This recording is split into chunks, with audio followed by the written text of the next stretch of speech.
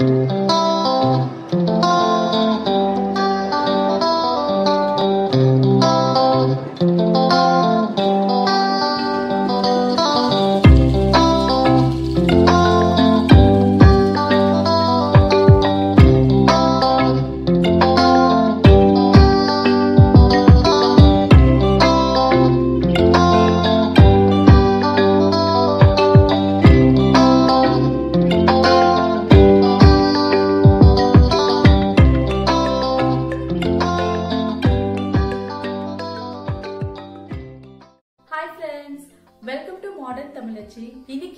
இன்னைக்கு normal days routine black தான் பார்க்க போறீங்க. இப்போ வாங்க வீடியோக்குள்ள போலாம்.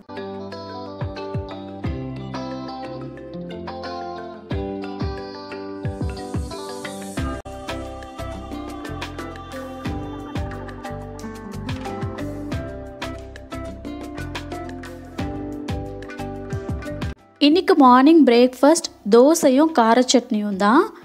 இப்போ வந்து என்னோட பையன் ஷஷ்வந்த்துக்கு இந்த மாதிரி தோசை நான் வந்து ஊற்றிட்டுருக்கேன் அவன் வந்து கொஞ்சம் டிஃப்ரெண்ட் டிஃப்ரெண்ட்டாக டிசைனாக இந்த மாதிரி தோசை ஊற்றி கொடுத்தோம் அப்படின்னா கொஞ்சம் எக்ஸ்ட்ராவாகவே சாப்பிடுவான். ஸோ அதனால் வந்து அவனுக்கு அப்பப்போ ஏதாவது டிஃப்ரெண்ட் ஆங்கிளில் வந்து ட்ரை பண்ணி கொடுப்பேன். குழந்தைங்க எப்போவுமே இந்த மாதிரி நம்ம டிஃப்ரெண்ட்டாக ட்ரை பண்ணி கொடுக்கும்போது ரொம்ப என்ஜாய் பண்ணி ஹாப்பியாக சாப்பிடுவாங்க. இப்போ வந்து இதில் நான் கொஞ்சமாக நெய் சேர்த்துக்கிறேன். நெய் சேர்க்கும்போது கொஞ்சம் வாசனையாக இருக்கும் இல்லையா? ஸோ நல்லா சாப்பிடுவாங்க. இப்போ தோசை ஒரு சைடு நல்லா வெந்திருக்கும். ஸோ திருப்பி போட்டுக்கலாம். ஸோ இந்த தோசையை வந்து கொஞ்சம் திருப்பி போடுறது ரொம்ப கஷ்டம். ஒரு குட்டி தோசையை திருப்பி போடும்போது இன்னொரு தோசை ஒரு மாதிரி இடிச்சிட்டு இருக்க மாதிரி இருக்கும். ஸோ பக்கத்தில் பக்கத்தில் இருக்கிறதுனால. ஸோ கொஞ்சம் கேர்ஃபுல்லாக கொஞ்சம் டைம் எடுக்கும். அதனால் அடுப்பை சிம்மில் வச்சுட்டு கொஞ்சம் கொஞ்சமாக மெதுவாக எடுத்து போட்டுக்கலாம்.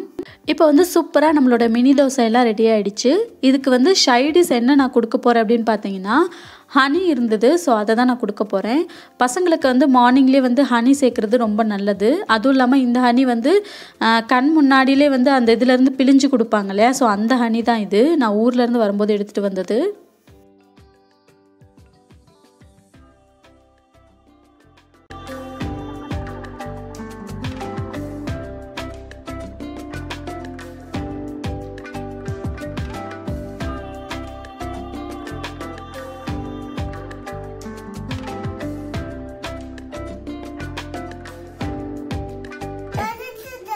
சரி கடிச்சு சாப்பிடு கடிச்சு சாப்பிடு.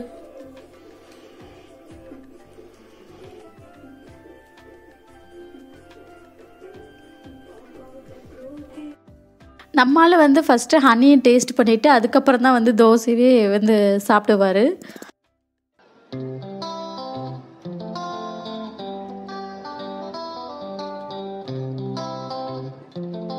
நல்லா இருக்கா சூப்பரா இருக்கா? எப்படி இருக்கு? சூப்பரா இருக்கா? ஓகே தேங்க்யூ நான் வந்து டெய்லியும் ஒரு லிட்டர் அளவு பசுப்பால் வாங்குவேன். ஸோ பசும்பால் வந்து நமக்கு உடம்புக்கும் நல்லது. ப்ளஸ் இதில் காய்ச்சினது போக மேலால் இருக்கிற அந்த ஆடை வந்து டெய்லியும் எடுத்து கலெக்ட் பண்ணி வைப்பேன். டூ வீக்ஸ் ஒன்ஸ் வந்து நெய் காய்ச்சிக்குவேன். அதுலேருந்து வந்து பட்டரும் எடுத்துக்குவேன். ஸோ நிறைய ரெசிபீஸ்க்கெலாம் பட்டர் யூஸ் ஆகும். ஸோ இன்றைக்கி பழைய பால் வேறு இருக்குது அதில் கொஞ்சம் ஐஸ்கிரீம்ஸ் பண்ண போகிறேன் இன்றைக்கி பால் வந்து நான் காய்ச்சி வச்சுட்டேன். பழைய பால் ஒரு கால் லிட்டர் அளவு இருக்கும். அதில் வந்து நான் இன்றைக்கி வெண்ணிலா ஐஸ்கிரீம் பண்ண போகிறேன் நான் ஏற்கனவே வந்து வெண்ணிலா ஐஸ்கிரீம் பண்ணியிருக்கேன். இந்த வெண்ணிலா ஐஸ்கிரீமோட ஃபுல் மெஷர்மெண்ட் அண்ட் டீட்டெயில்ஸ் வந்து உங்களுக்கு வேணும்னா டிஸ்கிரிப்ஷன் பாக்ஸில் லிங்க் கொடுக்குறேன். போய் செக் பண்ணி பார்த்துக்கோங்க. அது வந்து மெஷர்மெண்ட் வந்து கரெக்டான அளவு போட்டிருப்பேன். எப்போவுமே பால் மீதம் இருந்தது அப்படின்னா நான் கண்டிப்பாக வந்து ஐஸ்கிரீம் பண்ணிடுவேன் ஏன்னா என் பையனுக்கு ஐஸ்கிரீம்னால் ரொம்ப பிடிக்கும். இங்கே இருக்க சில்னஸ்க்கு அவன் வந்து மிட் நைட்டில் எழுப்பி நம்ம ஐஸ்கிரீம் கொடுத்தாலும் அவ்வளோ விரும்பி சாப்பிடுவான். அந்த அளவுக்கு அவன் வந்து லைக் பண்ணுவான். ஸோ அதனால் மீதி எப்போ இருந்தாலும் சரி நான் வந்து ஐஸ்கிரீம் பண்ணி வச்சுருவேன். இப்போ வந்து பால் நல்லா கொதிச்சிடுச்சு. இது கூட வந்து ஒரு ஏழு டேபிள் ஸ்பூன் அளவு சுகர் சேர்த்துக்கிறேன். உங்களுக்கு வந்து சுகர் லெவல் பத்தலைன்னா டேஸ்ட் பண்ணி பார்த்துட்டு திரும்பவும் கொஞ்சம் சுகர் சேர்த்துக்கலாம். சேர்த்துட்டு வந்து நல்லா மிக்ஸ் பண்ணி விட்டுக்கலாம். சுகர் கரையிற வரைக்கும்.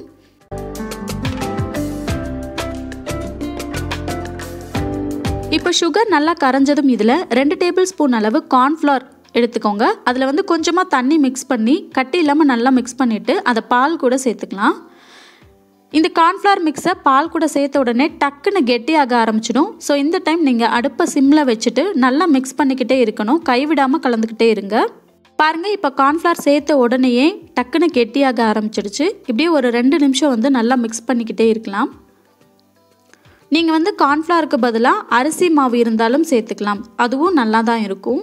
பட் அரிசி மாவை விட கார்ன்ஃப்ளவர் தான் நம்ம ஐஸ்கிரீமுக்கு வந்து நல்ல ஒரு டெக்ஸ்சர் கொடுக்கும்.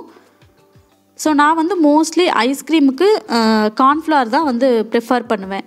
நம்ம வீட்லேயே ஐஸ்கிரீம் ப்ரிஃபர் பண்ணி சாப்பிட்றதுனால நமக்கும் ஒரு சந்தோஷமாக இருக்கும். குழந்தைங்களுக்கும் கேட்ட நேரத்தில் நம்ம ஐஸ்கிரீம் பண்ணி கொடுக்க முடியும்.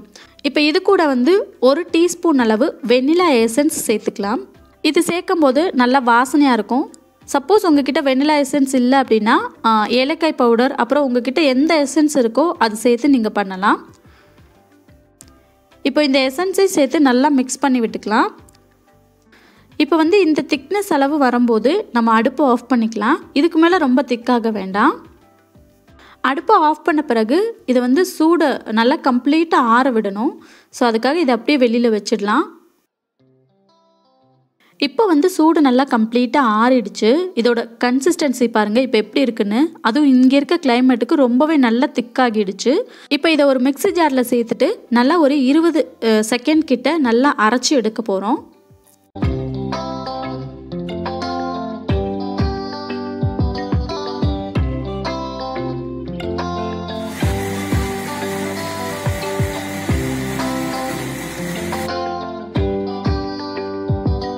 இப்போ வந்து நல்லா அரைச்சாச்சு. இந்த ஐஸ்கிரீமோட கன்சிஸ்டன்சி இப்போ பாருங்கள் நல்லா பார்க்குறதுக்கு நல்லா நொர நொறையாக க்ரீமியாக இருக்குது இப்போ இதை வந்து ஒரு ஏர் டைட்டான ஒரு பாக்ஸில் வந்து நம்ம ட்ரான்ஸ்ஃபர் பண்ணிக்கலாம்.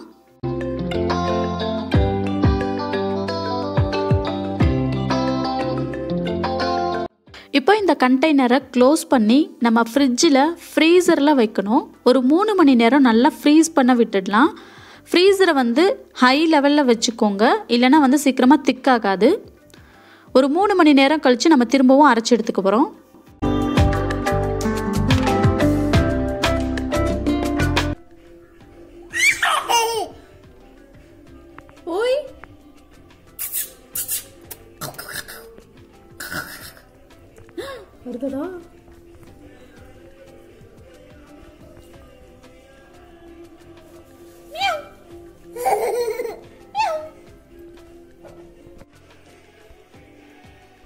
என்ன பார்த்துட்டு இருக்க சஷு? என்ன பாக்குறீங்க மங்கியா எங்க வந்துச்சு மங்கி இங்க வால்ல வந்துச்சா? இங்க. எந்த பக்கம் போச்சு? எந்த பக்கம் போச்சு? அந்த பக்கம் போச்சா? எங்க போச்சு? சொரிஞ்சிட்டு இருக்கா ஓய் மங்கி கமான்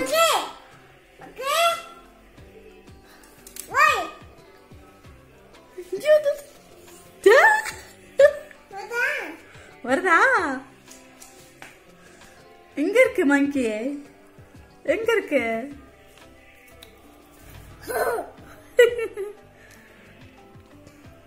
கூப்பிட்டு ஓய் மங்கி இங்கடா அங்கிட்ட ஒண்ணு இருக்கடா. ஏ ரெண்டு இருக்குடா தங்கம். ரெண்டு மங்கி இருக்கு பாரு. டூ மங்கீஸ் டூ ஆமா ஃபோர் மங்கீஸ் இங்க ரெண்டு மங்கீஸ் அங்க ரெண்டு மங்கீஸ் ஃபோர் மங்கீஸ்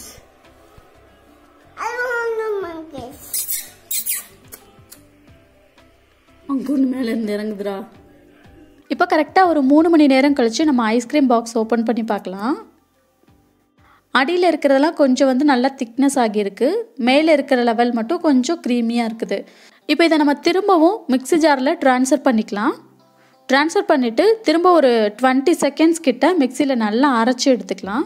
ஸோ இந்த மாதிரி அரைச்சி எடுக்கும்போது என்ன ஆகும் அப்படின்னு பார்த்தீங்கன்னா நம்மளோட ஐஸ்கிரீம் வந்து நல்ல ஒரு ஃப்ளஃபியாக கொஞ்சம் வந்து டேஸ்ட் நல்லாயிருக்கும் இப்போ இதை நம்ம அரைச்சி எடுத்துகிட்டு வந்துடலாம்.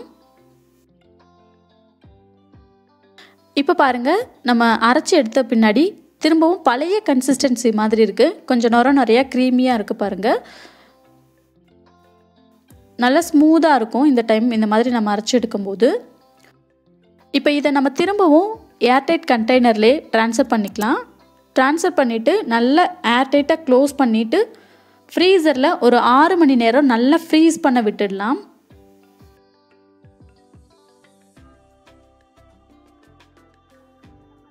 இப்போ சரியாக கரெக்டாக சிக்ஸ் ஹவர்ஸ் கிட்ட ஆயிடுச்சு. நம்மளோட ஐஸ்கிரீம் வந்து நல்லா திக்காகிடுச்சு பாருங்கள் இப்போ இதை வந்து நம்ம ஒரு வீட்டில் யூஸ் பண்ணுற கரண்டி வச்சு நம்ம எடுக்க போகிறோம் இல்லை உங்ககிட்ட ஐஸ்கிரீம் ஸ்கூப் இருந்துச்சுன்னா அதை வச்சு கூட எடுக்கலாம். நம்ம வந்து இந்த மாதிரி கரண்டி வச்சு எடுக்கும்போது கொஞ்சம் எடுக்கிறதுக்கு கஷ்டமாக இருக்கும். ஸோ ஃபஸ்ட்டு வந்து கரண்டியை கொஞ்ச நேரம் சுடு தண்ணியில் வச்சுட்டு எடுத்திங்கன்னா எடுக்கிறதுக்கு ஈஸியாக வரும்.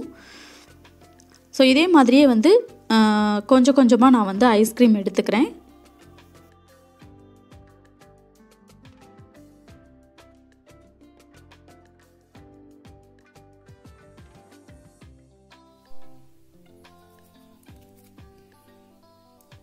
ஸோ இதில் கொஞ்சம் டெக்கரேஷனுக்கு நான் வந்து முந்திரி வந்து சேர்த்துக்கிறேன்.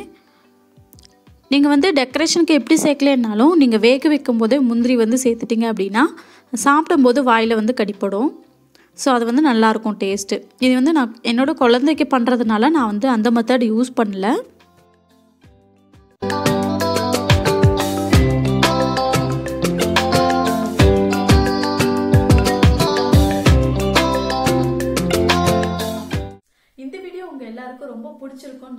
ஸோ வீடியோ பிடிச்சிருந்தா சேனலை மறக்காம சப்ஸ்கிரைப் பண்ணிட்டு கூடவே பக்கத்துல இருக்க பெல் ஐக்கானை கிளிக் பண்ணிக்கோங்க.